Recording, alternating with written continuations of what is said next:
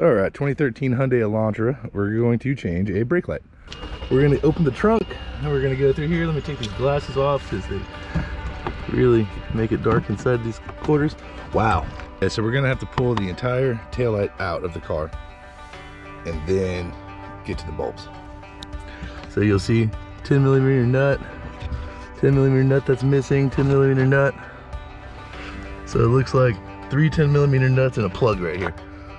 So first we're gonna start off by unplugging this plug. I'm not sure if you can see this. I'll show you after. It's just got it real easy, real easy. It's got this little depressor right here. You press with your thumb, unplug it. Now I'm gonna start by pushing this grommet through so that doesn't catch like that. So now that's nice and free. So let me go get a 10 mil. We'll pop these off and then we'll pull this tail light out. All right, so we're gonna pull these 10 millimeter nuts off.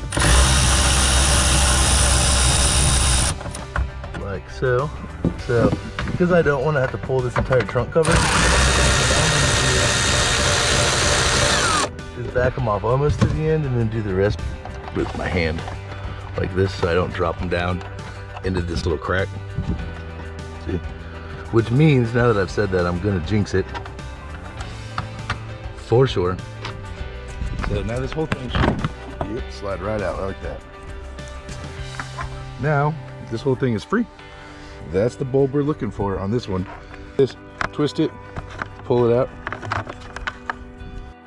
Uh, I forgot to mention when you take the bulb out, right, it's got these little tabs on it. So the tabs, you have to take it, twist it, and then pull it out.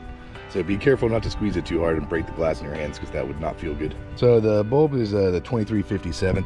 I'll put a link in the description, uh, an Amazon link if you want to order them online. Um, otherwise, you can get them at, shoot, probably Walmart, any parts store.